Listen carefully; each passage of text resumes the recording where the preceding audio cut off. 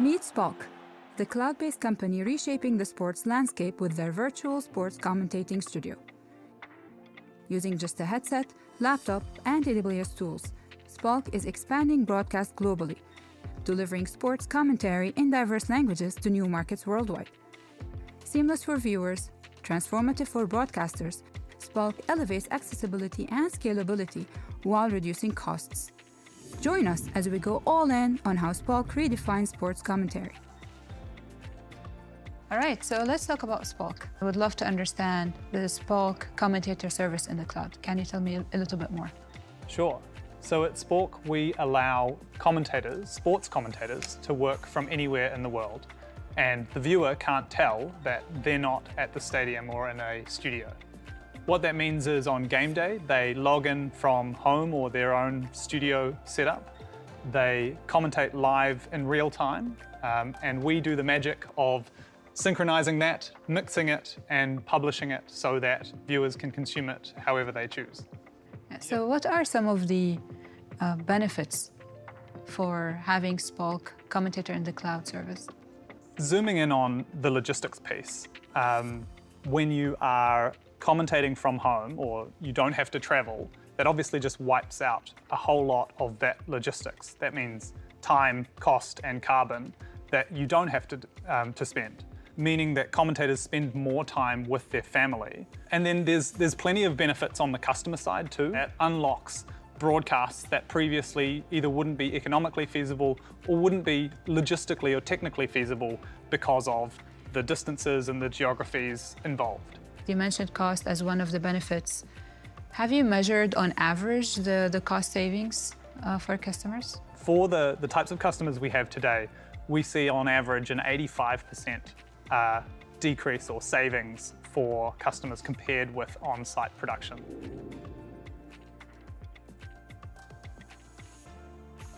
So we talked about the system at a high level, some of the challenges and the benefits of it, would love to dive into the technical side. Let's start by talking uh, about the architecture of Spalk in the cloud. Let's look at a game day. The first thing we need is an encode, a mezzanine encode somewhere like between 15 and 40 megabits per second uh, coming from the ground. So that might be the outside broadcast from a truck, might be coming from a separate facility, um, but we use that encode over something like SRT uh, to transit to our cloud system. Then we receive the feed um, optionally to a Media Connect flow um, where uh, broadcasters use Elemental Media Connect to ensure that the connectivity between systems is managed and provisioned. So a commentator at home possibly won't have access to 40 megabits per second.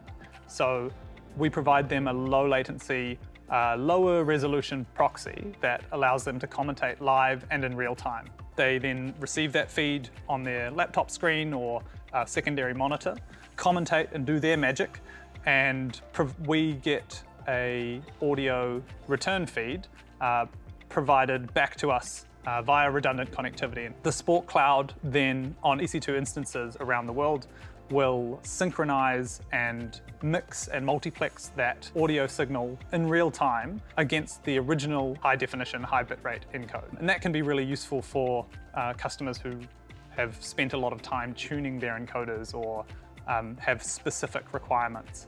From there, we now have what's usually a transport stream or a, packaged uh, signal that can be provided to the downstream takers, whoever that might be. So that could be directly to an MCR um, on an SRT decoder.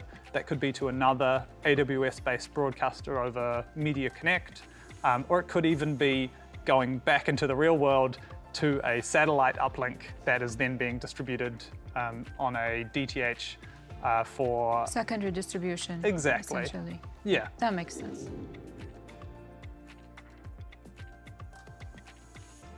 I'd like to double click a little bit on redundancy because that came a little bit earlier in the conversation.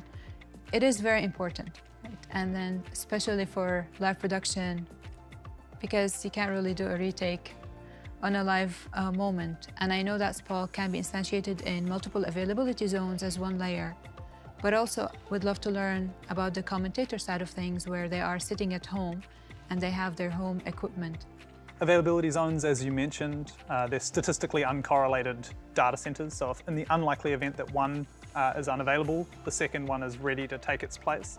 And that means that we can be um, running two feeds or in parallel at the same time. Um, that's the cloud aspect to reliability. But as you mentioned, there's the whole other piece, which is commentators at home, which um, can't be in the cloud. The first thing is to have uh, the ability to connect over multiple redundant internet connections.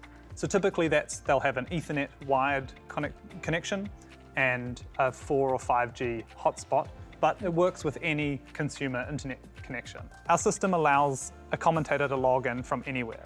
So if you lose commentary in one city, you can actually spin up commentary in another city while the game is still happening. And so the amount of downtime you would take would just be the amount of time your second commentator takes to set up. Now that's obviously a really bad scenario, but it does create some interesting reliability and flexibility in the, the system when you have fully remote contributors. And a level of comfort uh, to yeah. the broadcasters as well. Exactly. That's very interesting. That's a whole a new level of reliability and kind of having commentators be part of that. Yeah. So with that, can I try it? The absolutely. system. I'll be. I'm so curious. I would absolutely love to give it a shot. I have to say it's harder than it looks actually to do the sports commentary, but the but it's very easy to get started. So why don't we take a look over here? Let's go. All right. So now we get to dive in, exactly. and I get to be a commentator for a minute. Today's your big break. Right, absolutely. So can you walk me through, as a commentator journey, where does that start? Now it's game day, so 60 minutes until kickoff. Um, first thing you do is log in and uh, find your sound check link. We'll do a quick sound check.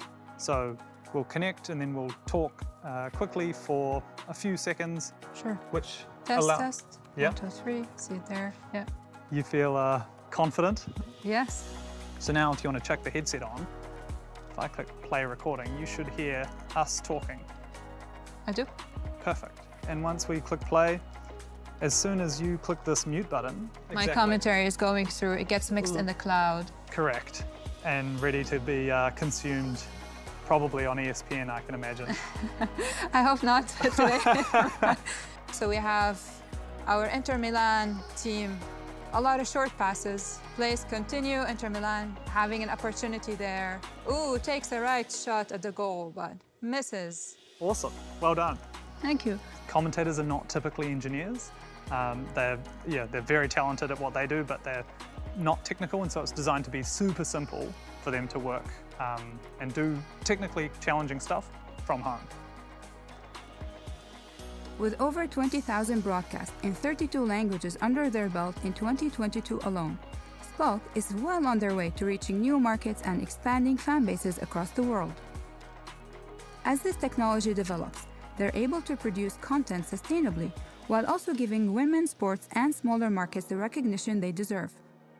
By building their solution on AWS, Spalk is helping to create new sports fans, one broadcast at a time.